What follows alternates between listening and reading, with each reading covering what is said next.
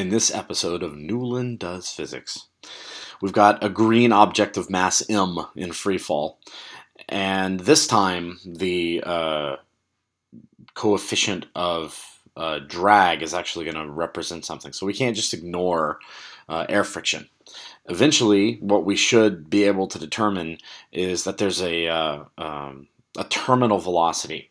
The acceleration that we experience in the downward direction should be counteracted by the acceleration that we experience from the, uh, I guess, deceleration, if you want to think about it that way, from air drag. Um, but I'm getting ahead of myself. Let's before we try anything else, let's apply Newton's second law. So the sum of the forces in the y direction, let's call down plus y, since that's the direction of motion. That's going to equal ma. A is not a constant in this case we want to figure out what it is, in fact, is going to be mg, which is pointing down, minus b times v. All right? So the goal here is to find an expression for velocity, so we need to remember that acceleration is dv dt. We're going to use that to our advantage. There's a random blue mark. So m times dv dt now equals mg minus bv. All right? Um, the trick now is to separate the variables. This is going to be a differential equation, and our goal here is to get everything related to velocity on one side and everything related to time on the other. So it's a fairly straightforward chunk of calculus, but maybe not from the beginning of calculus. Um, in fact, I'm going to be a little lazy here, and I'm going to use a relationship b over m equals some new constant k, uh, which will allow me to rearrange this a little bit so now I've got um, dv dt equals, so I'm going to divide everything by m. So I'm dividing all of this by m. g minus b over m times v, which is equal to, so now we've got dv dt equals uh, g minus k times v. That is v, I promise. All right. Um, okay. So let's take that dv dt equals g minus kv dv dt equals g minus kv. Let's separate our variables. So first thing we're going to do is divide both sides by this guy. So now we get the expression 1 over g minus kv dv dt. That is a d. Now it equals 1. We divided both sides by this. So let's integrate both sides with respect to time.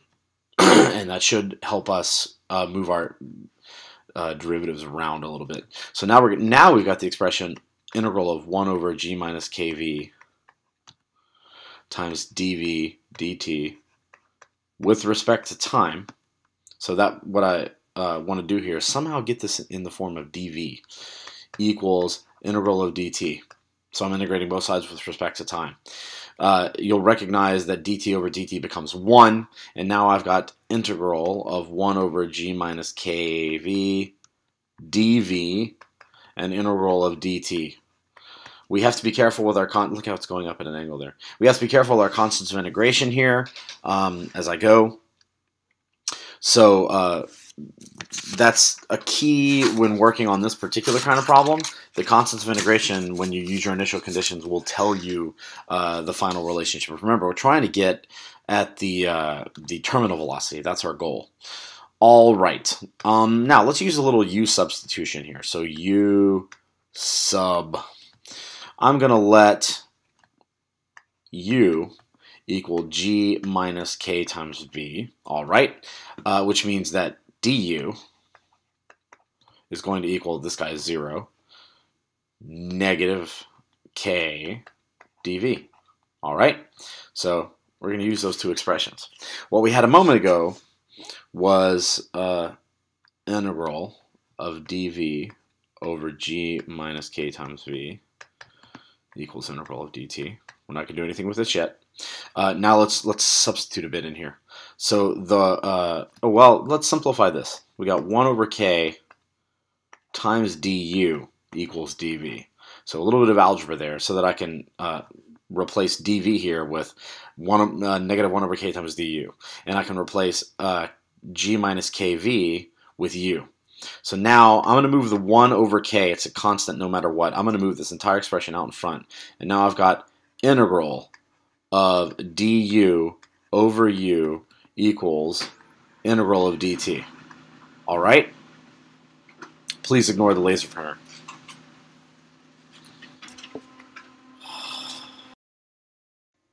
And we're back. All right, so we moved the negative 1 over k in front. We've got integral of du over u. du over u is equal to the integral of dt. Um, this expression here, I hope it is one you recognize. Negative 1 over k. The integral of du over u is the natural log of the absolute value of u. Uh, and I know this is going to look rather strange. Uh, as a matter of fact, I'm going to use a big bracket here. But I'm going to, instead of just saying plus c, I'm going to say minus natural log of our constant c. I'm allowed to do that, and it's going to make the form a little bit easier to understand when we're done here. So forgive the, instead of plus c, I've got minus natural log of c. Okay, I'll take care of the, the negative 1 over k as well. So this is equal to the integral of t with respect to time is, is t. And as long as I've got one constant of integration here, I'm okay with that. So now we've got this strange looking expression here that we've got to somehow uh, simplify, somehow work it out. Okay. Um, it's worth noting that our velocity can be positive and it can be zero. It will not, for this expression, the uh, air drag will not work backwards. It's not physically possible in this scenario. So as the velocity increases, there'll be a greater drag, but the maximum effect is to cancel out the acceleration downward. Um, the motion downward will not stop. There will still be a, a, velocity in the downward direction. So it's not as if the thing will hover. Um,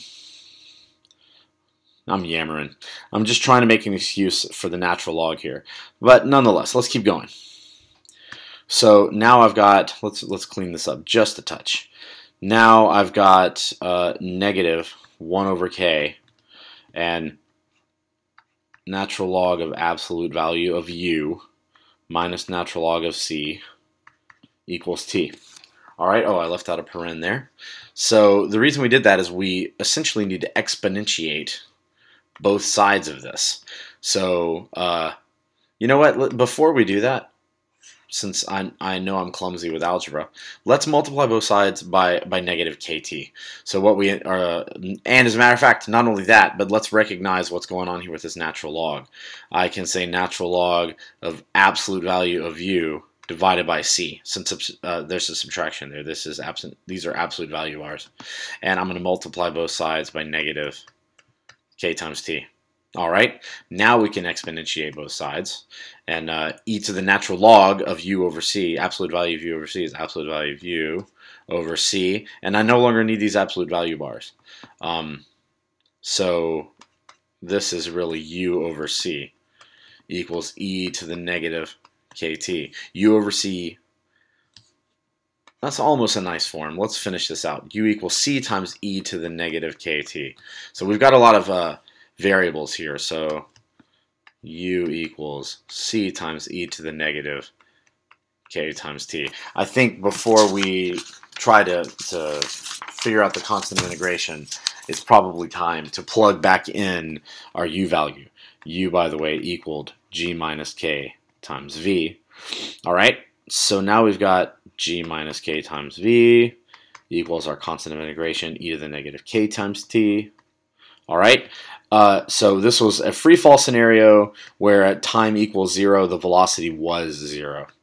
So, all right, that means we can write g minus zero equals c times e to the zero. So that this expression is now one, which means that g equals c. All right, maybe not completely clear yet. Again, stray mark, but now we've got. Um, the, this the final version of this expression is uh, not the final version, but cleanest one so far. G minus kv equals g times e to the negative kt. Now this exponential should look, you should expect to see that in, in a problem with uh, a resistive force, especially one with air drag.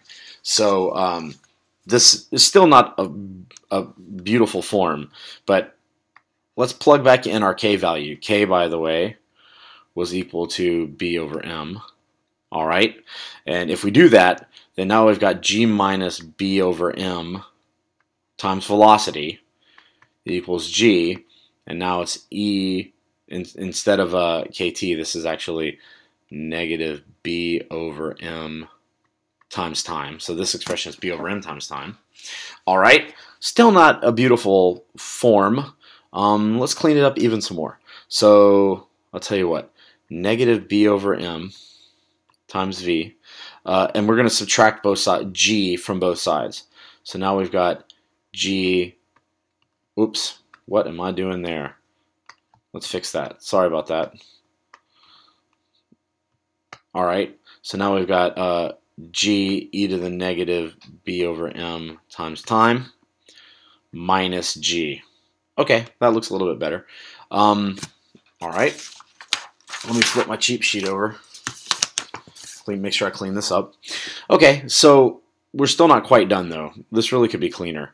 First of all, let's multiply both sides by negative 1. So now we've got b over m times velocity equals, and I'm going to flip this expression around.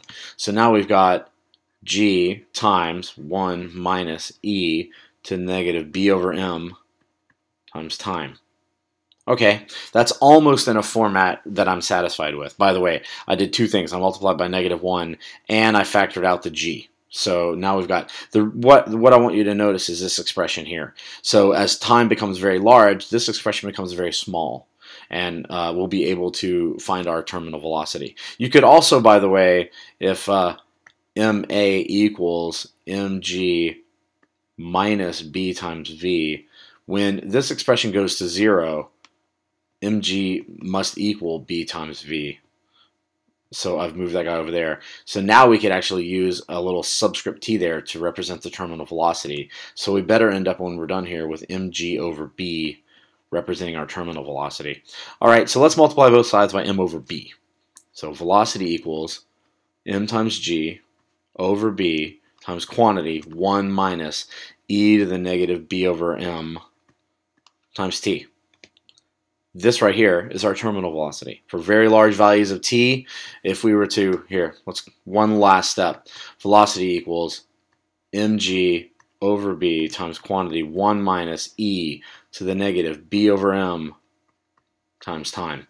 If we were to take the limit of this expression as time approaches infinity, this component goes to zero, and so v terminal is mg over b. So now we have a confirmation of that statement.